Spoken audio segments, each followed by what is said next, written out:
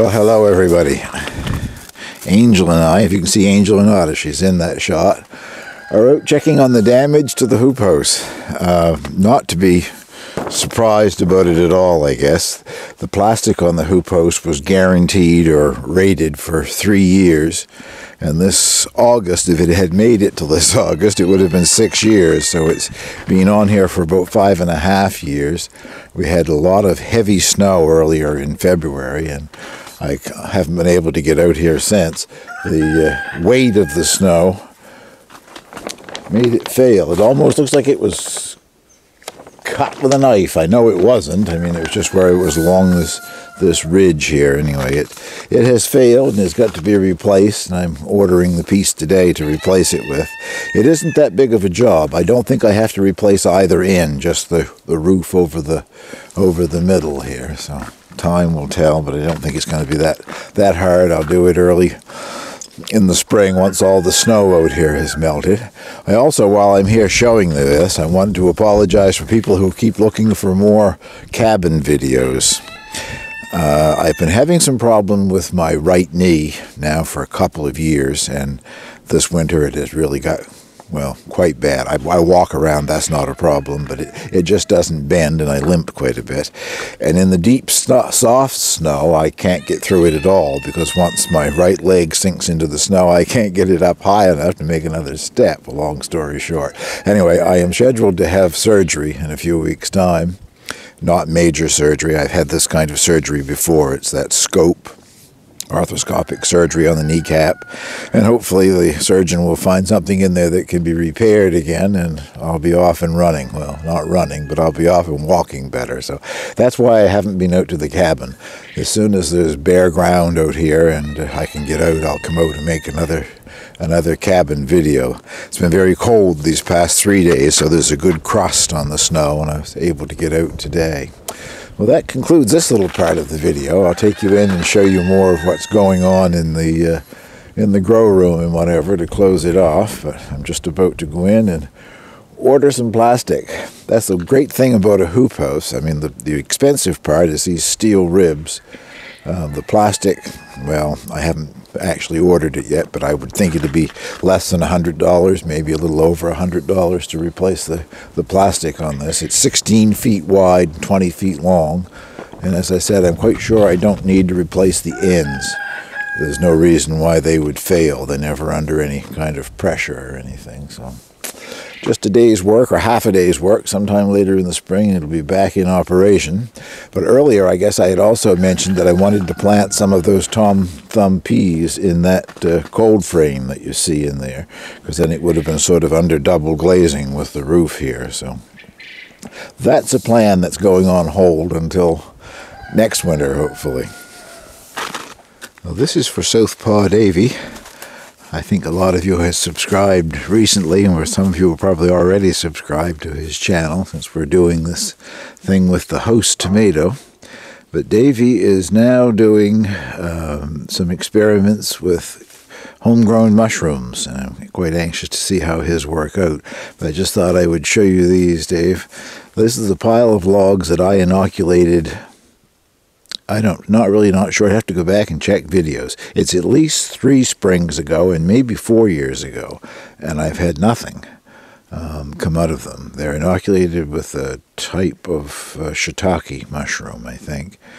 Uh, little plugs that you, you drilled holes and tapped in the plugs and then covered the hole with, with wax to prevent anything else from getting in there. So, hope springs eternal. I'm still watching this pile of firewood.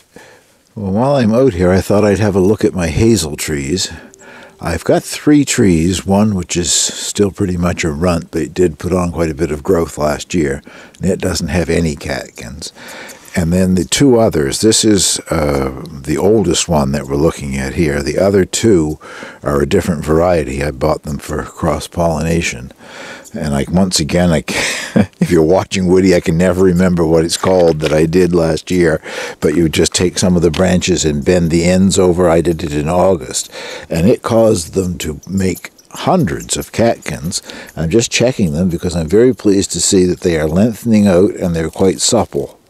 Sometimes in a severe winter here, uh, they don't survive the winter. They just stay, well, about half this size. These are already starting to, to grow, to lengthen out. I don't see any female flowers yet. They're, they're a tiny, tiny, tiny little thing, but I know where to look, and I'm not seeing any. And the other tree I won't bother to show you. It's got just as many catkins, and they're smaller. It's a different, as I say, it's a different variety, but fingers crossed, there should be good cross pollination this year. Maybe I'll even get a handful of hazelnuts. Sunlight is so bright on the snow, I can't tell for sure. Hopefully, that's in focus. You can see that sharp little cut at the end of that branch, almost looks like it was done with pruning shears. That's rabbit damage. Uh, I don't have very much of it, thankfully. That branch is down low enough that they could have reached up and got it at any time, but when the snow was much deeper, I see several branches here, oh, a good meter off the ground, where the, the ends have been clipped on them, but they can do a lot more damage than that. They didn't care for hazel trees, I guess.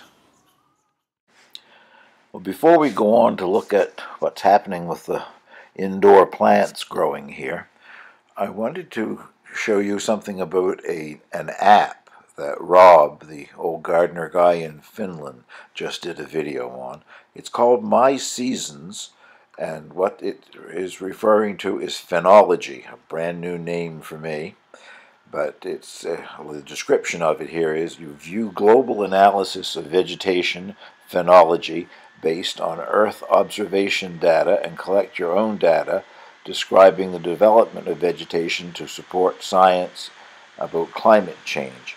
The data is taken from NASA um, satellites, and this particular screen that I'm showing you is the growing season over the last, well, it shows 15 years, but the last year that it's collected data for is 2014. That's the growing season for my area, and it's remarkably accurate. Um, I don't remember specifically each year when it started and when it stopped, but it's just exactly when I usually plant my garden outdoors, like the last week of May. And occasionally there it shows the first week. But anyway, it's a, it's a very interesting uh, video that Rob put up, and I'm going to put at the end of this video uh, a link through one of those end screen things. A picture of his video will come up and if you click on it, you can go there, and he gives a much better definition of it. But I'm having a lot of fun playing with the app, and I thought you might enjoy it too. I thought we'd take a little look around at what's growing in front of my garden door. Patio door, garden door. They call it a garden door because it opens like an ordinary door inward. I guess a patio door is one that slides. Anyway, the glass door, is what I'm talking about here. The peas were taking up the space that I needed under the lights in the grow room, so I've moved them down here. And I've eaten a couple of the pods that were just filling out, and they make a nice, like a snap pea or mange tout, whatever you want to call them, the kind of peas that you uh, can eat pod and all. There, were, there wasn't any stringy thing, at least not in the younger ones, but I'm going to pick, if I can get zoomed in on the right one here, I'm going to pick one that's fairly well um, filled out. I haven't checked to see if it's, if it's the one that's the most filled out. Leave that one there. I'm picking one behind it actually. The tweet was my sister sending me this video. If I can get it to play. Oh dear, she's at it again. That doesn't look very inviting. I've got it zoomed in. winter again. she lives in a condo in Midland, Ontario, on Georgian Bay, and that's the view from her front of her condo, where it is starting to snow again. She's in snow country. Let's see what we've got in here. Hey, look at that. Now those are roughly the size of. Uh, uh oh, I'm dropping them on the floor. Those are roughly the size of the peas that I planted. I presume they grow a bit bigger because when you dry one to make a seed out of it, it would shrink some. Got to taste those. Oh, they're very sweet, nice. You'd have to plant a large acreage to get anything much out of it. There are, I haven't counted the pods, but there are, oh, I don't know, 30 or 40 pods on there, probably in various stages of development. I just tried the pod. As it developed the seeds, it got a little more stringy. Well, let's look around at some of the other things that are growing here. This is my very tiny bay laurel tree. I haven't had it quite a year yet. The noise in the background is Angel. She's decided to get up and shake. I haven't had it quite a year yet, but I got it last spring, like probably in May. And so far it had never grown a single new leaf. All of a sudden, it has decided that spring is on its way, I guess. And that's a, a new leaf, or I suppose would be a branch of leaves when it finally gets really opened up. So the thing is alive. The only thing I can think of is it must have, it came out of a tiny little pot and it's in a fairly good sized pot there, probably 12 inches high and I don't know, 10 inches or so wide. So growing roots to adjust to the pot size, I have no idea, but it wasn't interested in growing any new leaves until right now anyway. If you were watching my channel last winter, I, well, several years in a row, I guess, I tried to grow citrus trees from seeds, buying the seeds, and had no, absolutely no luck. And finally, someone clued me in and told me, plant fresh seeds just out of the out of the fruit. And that's what I did. This particular one is a Meyer lemon. I found some Meyer lemons in a bag in the store, and I was able to, oh, I don't know, I had a lot of them germinate. I only kept one, gave some away. I guess I even gave some seeds to other people. Uh, so if you're watching this, let me know how yours did. But I'm very pleased with that. That's, well, it must be probably over a year old now, and it's growing quite nicely. All these new leaves here have just come out in the last couple of weeks or so. Video against the light of that window isn't good probably, but this is a just generic lemon. I don't have any idea what the variety was. It was the first ones that I tried. Just a large lemon that I bought in a grocery store that had a lot of seeds in it, and again, I got a lot of germination. It's grown much taller than the Meyer lemon. Um, I originally thought I would clip the top off of this thing and then there would be new branches come out. Well, I clipped the top off and it grew another top. So I think I'll leave it alone for a while. I'll have to really clip the top off one of these days to try to get it to bush up. So far so good. I've never lost a leaf on either one of them. This is a rosemary that I grew from seed last winter. Um, it's been pruned back many times using it as an herb. I used it just a couple of days ago, I guess. And it just seems to really encourage new growth on it. if I can show you, try zooming in on something here.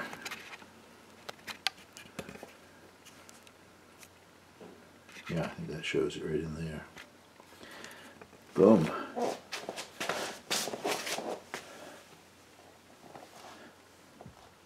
This this was a branch that I pruned off, and from where I pruned it, it's got new growth, and new growth coming in several spots down below. Seems to happen every time I prune it back a little, so looking healthy, and should last me a few more years, I guess. Just tried doing this earlier and could not get it to focus. That's the very tip of one of the branches on my olive tree. And I will zoom back and show you how spindly the rest of it is in just a second here. Um, I don't know, I think I've had it three years, and when I first got it, I had brought a bay laurel plant back in the house, and it was infested with scale. And the scale bugs moved over into this, and I don't know how many times I have sprayed it with neem and whatever, and for several months you think you're rid of them, and then all of a sudden they're back. I just discovered the other day that they're back again. I've picked everything off. I've given up on the neem. It doesn't seem to cure the thing for me at all. But that's new growth coming on the end of that branch, so at least it's still alive and trying to grow, but looking kind of spindly. If I can get back here to show you the whole thing, or most of it anyway. It's, well, from the soil level up to the top of it, it's about 18 inches tall. And branches in every direction. I've never tried pruning it yet. Well, I'll take you up and show you the host tomato. I won't bother showing all the other things under lights. There isn't that much change in them in a week, but we're interested in seeing how the host tomato project is going. So I'll show you that to close off the video. Under these grow lights everything looks very strange, but that is my two host tomatoes, the variety that is supposed to grow and produce tomatoes in the house.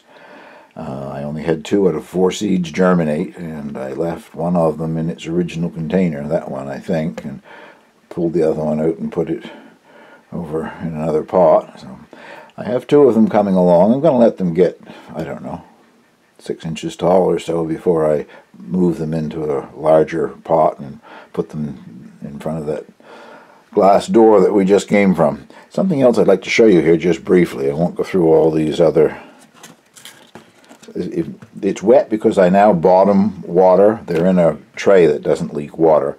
So I, I watered them last night and everything in the tray, all the peppers have taken up most of the water, but the surface is still wet. This is an Espelette pepper, and I'm assuming what I did is I dropped the piece that I clipped off when I was, from the crown of it here, when I was shortening it up so that it would grow these side branches, and it's taken root. Now, I've never tried it with Espelette peppers, but I remember trying it years ago with a couple of varieties of chilies that I wanted to propagate. It's almost impossible to. Uh, they do root eventually. I think it's something like six months before they took root, and this one just dropped on the soil and has taken root. So, evidently, Espelettes work a little bit different than the ones that I was trying a number of years ago. Well, this has got a little longer than I wanted it to get, so thank you very much for watching. I'll put this together and get it up on on uh, YouTube. I guess I want to also mention before I go that uh, the earlier section out at the greenhouse, the, the hoop house, was several days ago. Since then, I have ordered the plastic and it's on its way. The cost was $114 US. It's coming from the American side. The whole kit, the green hoop house, came from the American side. I called the company that I bought it from. They still sell that same hoop house in kit form with the plastic included in the in the package. However, if you want to buy replacement plastic from them, they want to sell you about twice as much as what you actually need, and they can't possibly cut what you need. So it was going to be way over $200. I forget exactly what she quoted me. So I went on eBay, found a company in California that will sell me almost the exact dimensions that I want, maybe a foot or so longer in each direction, but that's always good when you're putting this stuff together anyway. So hopefully another month or so I'll have a hoop house up and running again. Well, thank you for watching.